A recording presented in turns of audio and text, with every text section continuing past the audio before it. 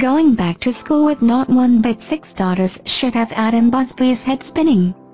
Over the years it seems he and his wife Danielle Busby have figured things out. That includes knowing how to tell their children's things apart. Fans of Outdaughtered know all of the girls have their own distinctive personalities that come out more as they grow older. Lately, the Busbys have been sharing back-to-school pictures of their quints and older daughter Blayke. On one picture Adam said, Happy first day of school to my six little princesses. Man these girls are growing way too fast. Can't wait to hear all about their day. The girls all wore big bows in their hair with dresses and white tennis shoes.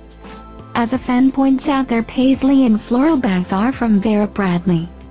They look very excited about their first day of school this year because they are all smiling. Danielle shared an adorable picture of her girls at the spa. She treated them before they had to go back because it was their last summer day. She said, we go back to waking up to alarms in the morning as we get back to our school routine tomorrow. She went on to say she wanted to spend the day doing something fun. They got, manis, pedis, facials, and lemonade. Lemonade, because it's a spa specifically for kids. Fans reacted to the cute picture Adam Busby shared. One fan wanted to know how he told their lunchboxes apart. They said, they look too close in color. How will you and Danielle remember which one is which? Adam replied and said the girls know which lunchbox and backpacks they picked out. Plus, they have name tags on them. Fans had some other questions on Adam Busby's post. They were mostly answered by other fans. They wanted to know what grade the girls were in.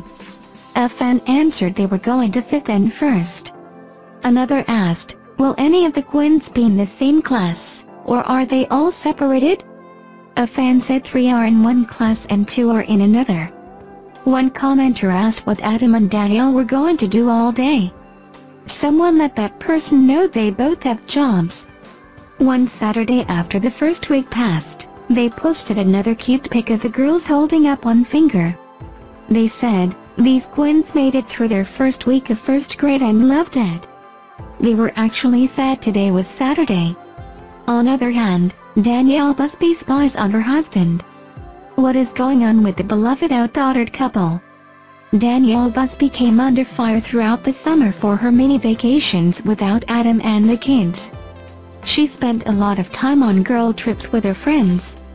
Well, fans won't be happy to see that Danielle is once again away from home. But this time, Adam is also out of town.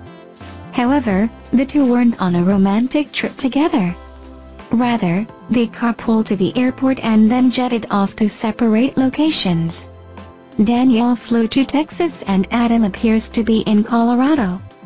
Strolling through the waiting area, Danielle spied on her husband. Danielle shared a clip to her Instagram stories creeping on Adam as he sat waiting for his flight. Luckily for Adam, he wasn't doing anything scandalous. Danielle noted that Adam was enjoying his breakfast.